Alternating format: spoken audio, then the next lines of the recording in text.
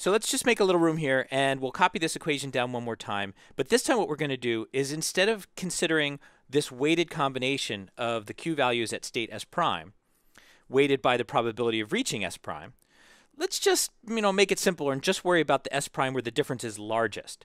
Since this is a, a weighted average or a convex combination, it can't be any larger than the biggest difference at any s prime. So we're going to do that. We're going to uh, copy that down, max it over s primes. And we don't need to include the max over a and s anymore because you'll notice this expression doesn't even have a and s in it anymore. Right. So actually, uh, by considering this kind of worst case version, we don't have to, we don't have that max anymore. Mm-hmm. And that gets us from an equal to a less than an equal. This gets us from an equal to a less than an equal. That's right, because we're we're bounding it. It could it could actually be a bit wider here. We're considering the worst possible next state in terms of the difference between these q functions. Okay.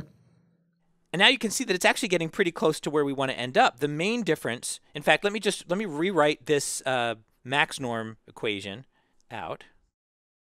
So when we write that out, we get gamma times the max over state action pairs. I'm going to write s prime and a prime just uh, to make it easier to match up with the other equation. It's it's whatever you know, whatever, however we're indexing over the state action pairs uh, that make up q1 and q2. So so this max norm is really just the max over those of the difference between the q two q functions, and this is where we are at the moment. We have something like gamma max over s prime, and these maxes are kind of trapped in the absolute value. It would be really nice if we could move these maxes out of the absolute value uh, and and have it this way. So now the A primes actually match up. Here, this is the max action according to Q function Q1, and this is the max action according to Q function Q2, and it would be good if we could just talk about them together. So, so this is kind of, to me anyway, this is the most fun, most exciting, uh, most interesting step because this turns out to be true, right? that we can actually move these maxes out and uh, and then we get a valid sequence. So what, I'm going to focus in on on this step in a moment, but let's just accept it for the time being that uh, that we can move these maxes out. Now we've actually completed the algebra that we needed to complete. That the difference between the two q functions after we apply the Bellman operator is actually less than or equal to gamma, something smaller than 1, times what the distance was before we apply the q operator.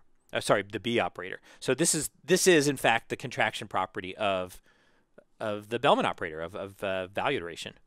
Wow. So Bellman and value iteration converges, except for this magical step you're about to explain to me.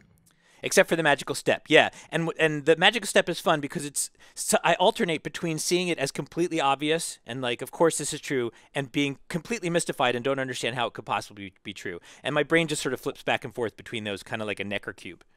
So let's dive in and make sure that this property holds, knowing that once we establish that, we get the whole chain, we get the whole contraction operator thing. We get all the power of contraction operators in uh, when we're doing Bellman updates.